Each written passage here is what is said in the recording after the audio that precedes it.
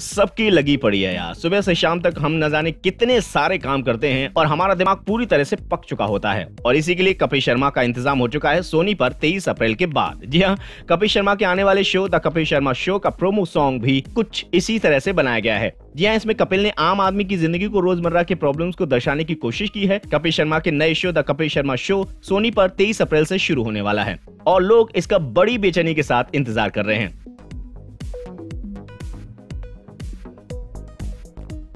कपिल ने इस शो के लिए नई प्लानिंग की है और इसमें कॉमेडी को एक नए अंदाज में पेश किया जाएगा। ये प्रोमो सॉन्ग काफ़ी अट्रैक्टिव है और इसके आखिर में कपिल शर्मा कहते हैं लाइफ में सबकी है लगी पड़ी। इसलिए सबको चाहिए हँसी की एक घड़ी। तो भाई, हँसी की इस घड़ी के लिए आप भी पूरी तरह से तैयार हो जाइए। जैसे कि हम एक्साइटेड हैं, आप भी एक्साइटेड होंगे।